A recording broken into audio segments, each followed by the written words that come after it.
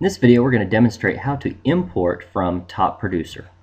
So if you've watched our video on how to export from Top Producer you get a file that looks something like this and one of the things that you'll notice in Top Producer they you have the ability to have multiple contact types associated with each contact. So here's an example where there's two values that are in this CSV file format that need to go into one value inside PlanPlus.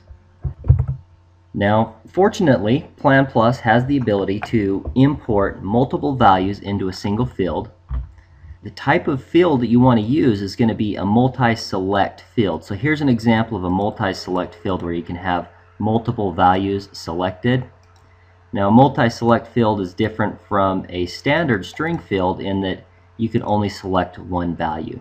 So what we're looking for is we need to make sure that we have a custom field type created called contact type. And if you're using our real estate template, there should be a custom field that you can map right to called contact type.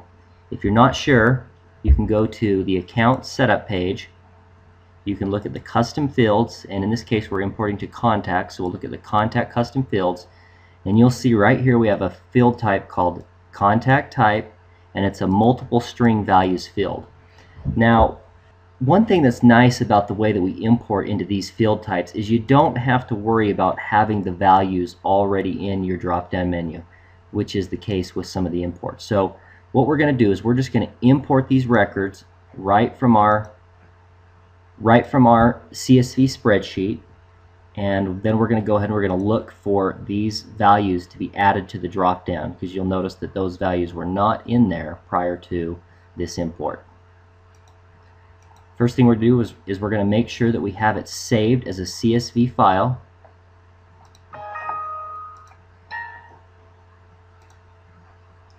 Sometimes you get that error message when you try to save as a CSV. I get it all the time. I just click yes and, and proceed.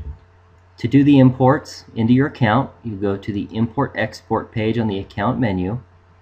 In this case, we're importing contacts. If you're importing contacts and company names, you go to the organization contact sales team. This is a great one to use if you're going to import the uh, team member's name as well. So we'll select this one, we'll grab our file, grab our file.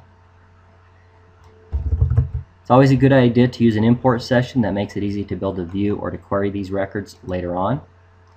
Now when we do our mapping, here's the field, we're going to map this contact type to our contact type field that is the multi-select field. We're going to get the first name and we're going to get the last name. Notice that I'm importing contacts so I'm skipping past all the organization fields there. Now you'll notice the asterisk on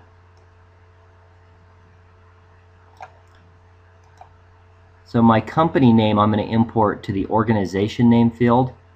So what this asterisk means on organization names, if I'm going to import an organization, I have to have an, an organization name. These would all be optional fields for importing an organization.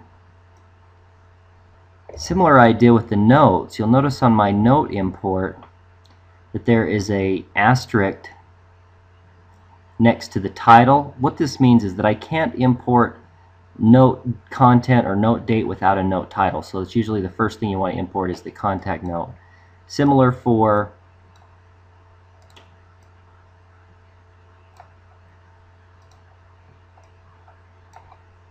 Similar thing goes for addresses. You have to have a line 1 if you're going to import a city, state, and zip. So if, if for some reason your data record doesn't have one of those, you may need to create a row in your file so that you can have a line 1. And we're going to skip some of these other fields so that we can quickly do the import. Saving a mapping would save this mapping profile for later use. I'm just using this one time so I don't need to save it.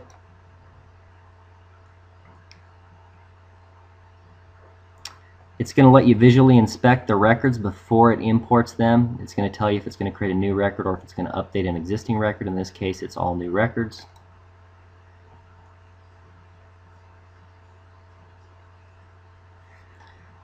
So there's my import. I can look at a log and a history of the import by clicking that link.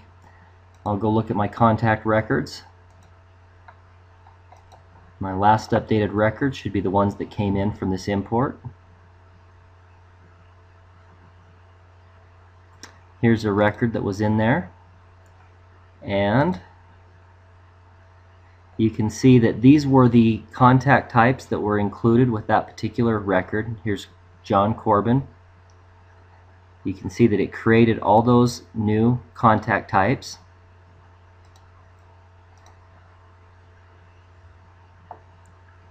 And from my spreadsheet, here's the